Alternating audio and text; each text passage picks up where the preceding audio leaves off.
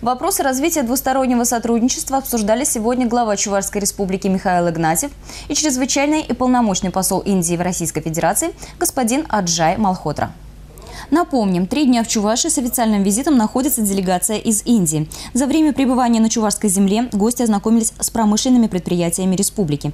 Линейкой выпускаемой продукции ОАО «Промтрактор» и ОАО «Техмашхолдинг», ЗАО «Чебоксарский электроаппаратный завод», ОАО «Гален», кондитерскими изделиями ОАО «Аконт».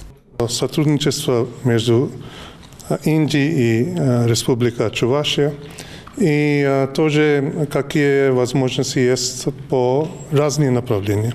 Например, туризм, например, торговля, например, инвестиция. И мы поговорили об всем этом.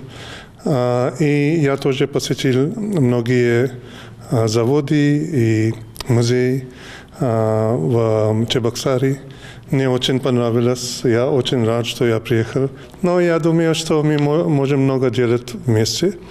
И я буду работать над этим. И на направлении культуры, как господин Игнатьев сказал, у нас самые хорошие отношения и в культурной сфере должны быть.